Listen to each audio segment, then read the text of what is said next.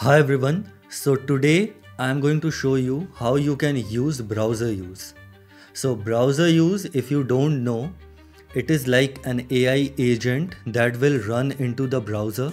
So you can give any task. For example, you can give the task to AI, go to Google, search about something and provide me the three links or go into the first link and summarize everything. So it will actually open up your browser in front of you it will search you can see it will do everything that you say and according to that it will uh, provide you the results.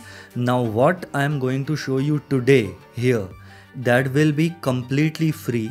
We will be using the api key for uh, from uh, the ai studio of google. And uh, you can just go to ai studio and uh, there you can get your API key for Google. And uh, you can already choose.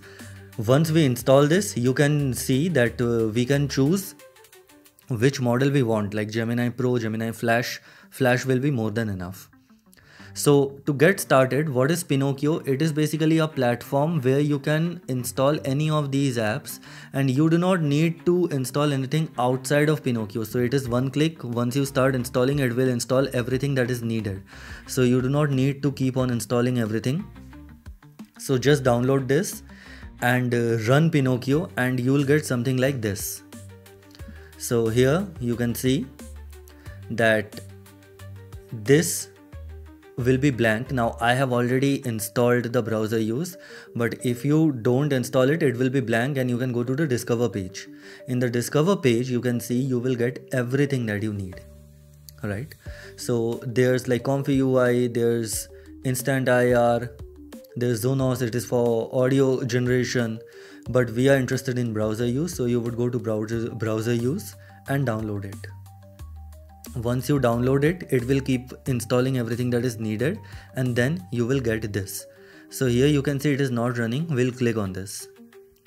And here you can see it is starting. So it has a terminal uh, terminal inside it. So everything will be running from here. You do not need to do anything outside of pinokio. Now here you can see that the browser web ui has opened.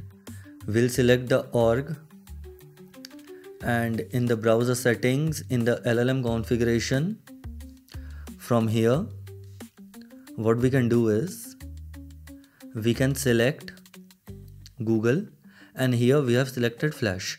Now we need the API key right? So we need the API key and we'll copy it from AI Studio and paste it here. When you come to aistudio.google.com with the API key get API key you can create an API key from here and it is completely free. Now here you can see I have pasted it, right? And we do not need to change anything else. From here you can select which one you want, Gemini Flash or anything. But I'm going to use Gemini 2.0 Flash, right? And we do not need the thinking one here, but uh, this is the Flash. There is experimental and other things as well. You can choose Pro as well. One thing is that you can actually choose Anthropic, OpenAI, DeepSeek, Ollama, anything. DeepSeek would uh, work better if you have that. And also uh, use it with Ollama. So if you want to use it locally and if you are installing the browser use locally, you can also use Ollama. But uh, I am using this because everything is free and I need to, I wanted to demonstrate with everything uh, which we can get free and which is not heavy on the VRAM of your PC. Yeah. So now in this browser setting, you can actually select so uh, whether you want to keep the browser open or not, I am not keeping it open. So basically it will run a task and it will finish. I have selected this like enable recording. I have disabled it and this is the brow browser width and the height. So it will just open up here. Now in the run agent, basically you can see this is the instruction and here you can put some kind of hand, uh, hints or context that you want. So firstly what i would do is that i would say go to google.com and type and i will change it here. I will say 12 rules for life. This is the name of a book. Uh, click search and give me the amazon link to buy this book. Click on the amazon link. Click on the amazon link to buy this book and open the books amazon page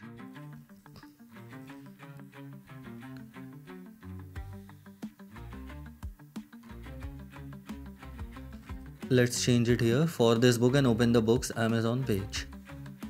Now remember the reason i am using flash is because it is way cheaper and there are like uh, very less strict limits when we are using it for free.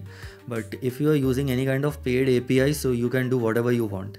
And this would work like insanely well with uh, openai's uh, api key or even deepseek's api key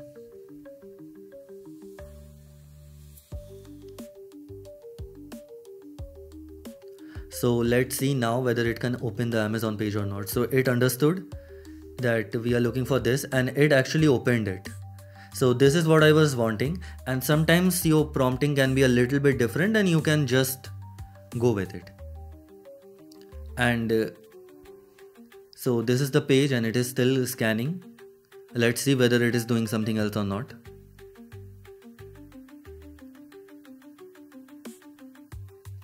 so it has finished. You can see here it has finished. Like the processing will go away when uh, we have like completed the prompt right? So the page is open and this is the one i was looking for. It was uh, it is with dr jordan b. Peterson. So yeah. Now we can close it. So this actually keep browser open means when the task is complete you can see the processing has gone. The uh, window will not close automatically so we can keep it open. So if we want to continue for example i assigned this task to ai to find and open the uh, page but then i want to continue the payment by myself i can do that as well. So that is the thing. Now let's try something else. So here i can see.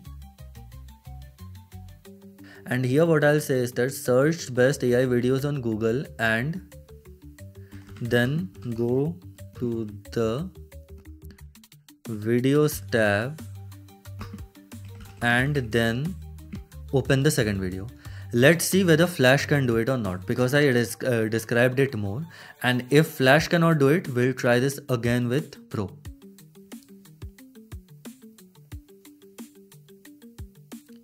So flash was uh, able to navigate to the videos tab as you can see now we want the second video. So the second video should be this one. Let's see.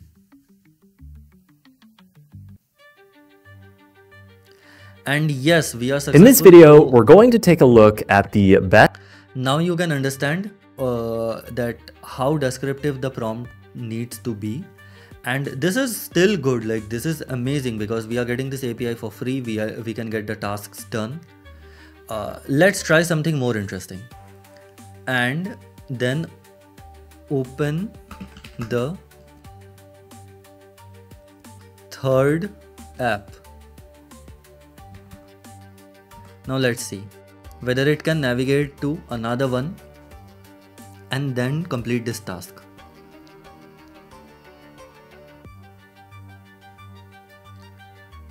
So the third one should uh, be the calculator.net let's see okay this is calculator and here it was able to uh, understand everything.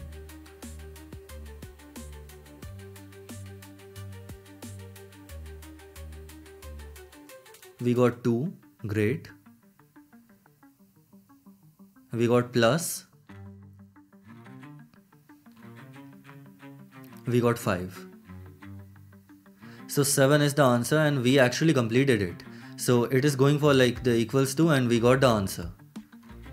So it completed it and uh, it you can see it closed. So this is amazing how you can like search for an app online open the app which you want and then calculate it.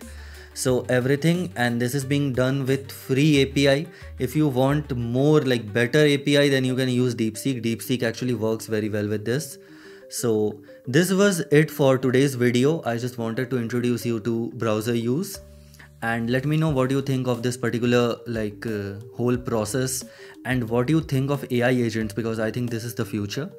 And yeah you can uh, comment in the comment section below and i'll try to reply as soon as possible